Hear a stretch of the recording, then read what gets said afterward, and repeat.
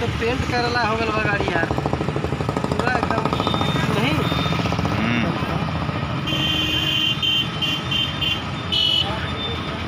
ये घर चालू कर रखी गाड़ी।